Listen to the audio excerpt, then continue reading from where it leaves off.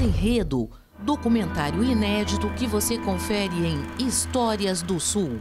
Sexta, oito e meia da noite